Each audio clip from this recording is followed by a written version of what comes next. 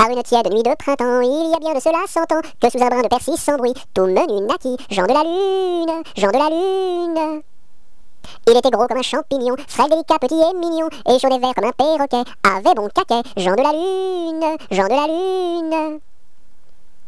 Quand il se risquait à travers bois, de loin de près de tous les endroits, mais le brouvreuil sur leur mirliton répétait en rond Jean de la Lune, Jean de la Lune. Quand il mourut, chacun le pleura, dans son potiron on l'enterra, et sur sa tombe l'on écrivit, sur la croix Sigi, Jean de la Lune, Jean de la Lune.